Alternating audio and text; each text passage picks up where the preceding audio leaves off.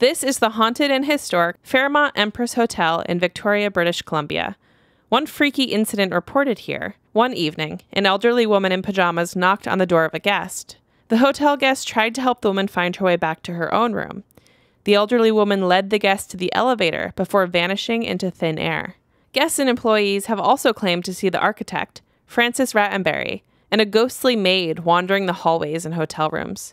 After four years of construction, the hotel opened in 1908 and is named after Queen Victoria. Be sure to book a room if you're open to unexpected visitors.